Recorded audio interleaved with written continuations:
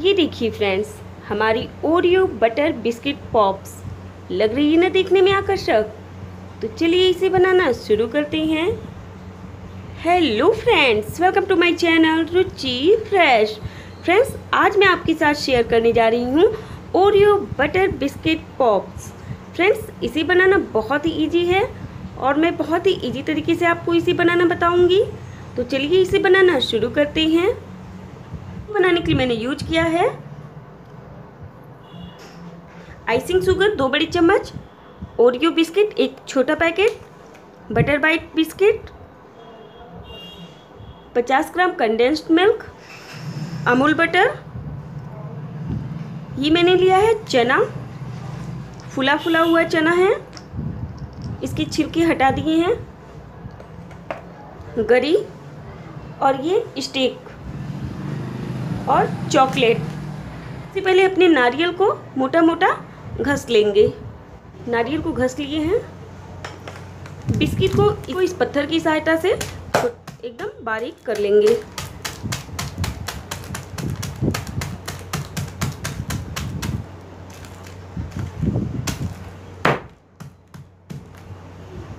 इसी तरीके से इसे भी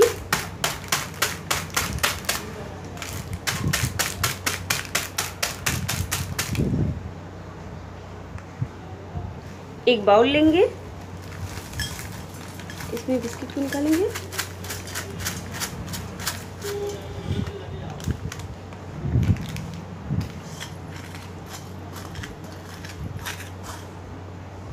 इसे थोड़ा और क्रश कर लेंगे। इस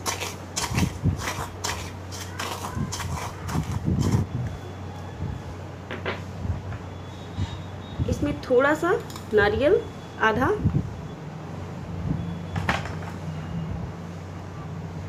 चना चीनी कंडेंस्ड मिल्क थोड़ा सा। इसे अच्छी तरीके से मिला लेंगे हाथों से। हाथ साफ़ रखें। इस तरीके से इसे एक प्लेट में रख लेंगे। अब इसमें बटर बाइट बिस्किट को डालेंगे।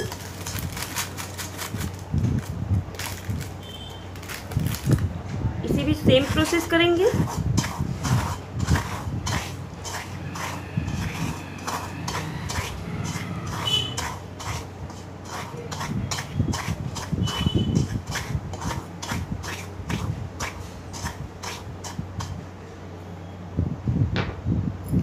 नारियल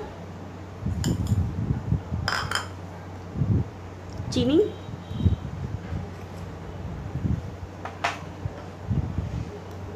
चना अमूल बटर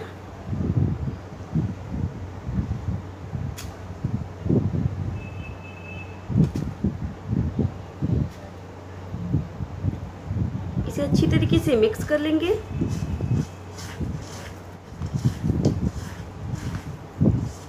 ज़्यादा नहीं, बस थोड़ा सा कंडेंस्ड मिल्क डालेंगे।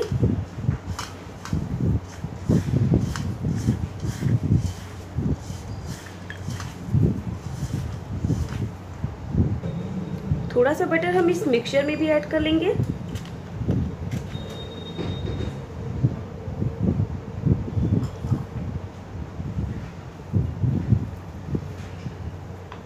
इससे थोड़ा क्रीमी क्रीमी हो जाएगा। इस तरीके से इसके छोटे छोटे हम पेड़े बना लेते हैं।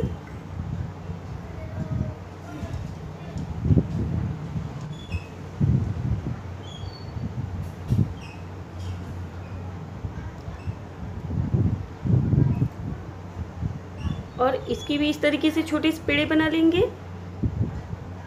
इन दोनों को एक कर लेंगे।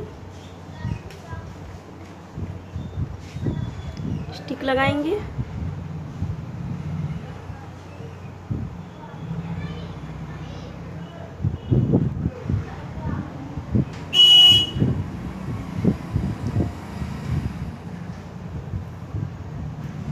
हम आपको एक और बनाकर दिखाते हैं।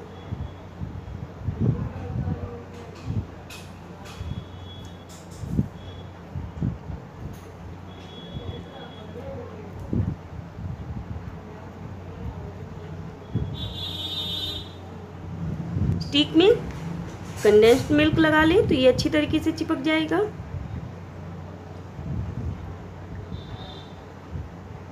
अब इसको रखेंगे। और इसे अच्छी तरीके से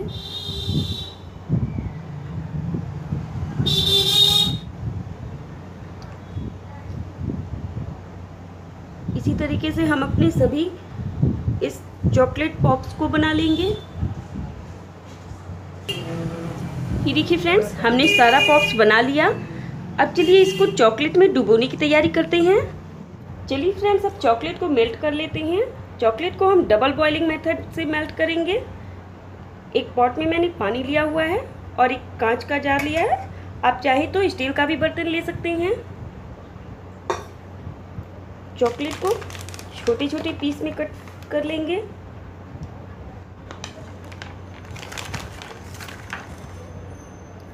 ये डार्क चॉकलेट है हमारा? ये हमने लगभग 250 ग्राम चॉकलेट लिया है? पानी खोलने लगा। हमारा पानी इससे टच नहीं होना चाहिए। फ्लेम लो कर लेंगे। चॉकलेट डालते हैं।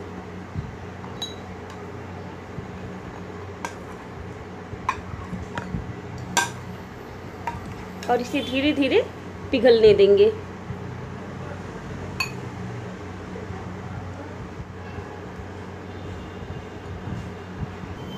फ्रेंड्स, हमारा ओरियो व बटर बिस्किट चॉकलेट सेट हो चुका है। चॉकलेट पिघल जाने पर हम इसमें इसे डुबोएँगे। हमारी चॉकलेट मेल्ट हो चुकी है। अब हम अपना एक एक ये बिस्किट चॉकलेट उठाएँगे और इसमें लगाएँगे अच्छी तरीके से। हमने एक ग्लास में चावल भर लिया है।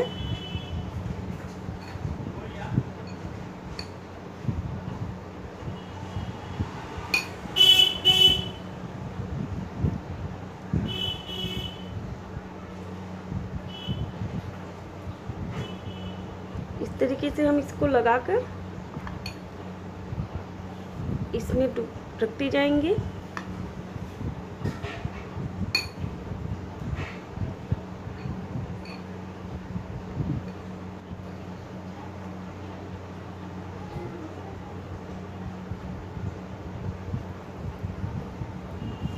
इस तरीके से हम अपने सभी पॉप्स में लगा लेंगे चॉकलेट को। ये देखिए फ्रेंड्स, इसके ऊपर हम थोड़ी सी गरी लगा देते हैं। आप कुछ भी लगा सकते हैं।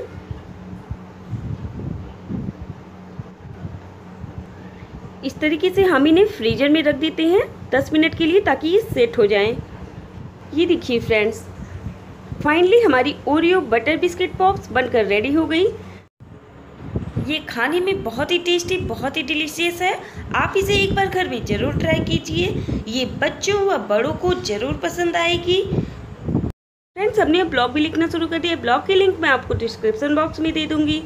हम हर सैटरडे और वेडनेसडे को आपके लिए एक नई रेसिपी लेकर आते हैं। आप हमारे चैनल को ज़रूर सर्च कीजिए। तो तो मिलते हैं अब नेक्स्ट वीडियो में कमल नमकीन बनाने की विधि के साथ। बने रहिए हमारे साथ। Thank you Bye.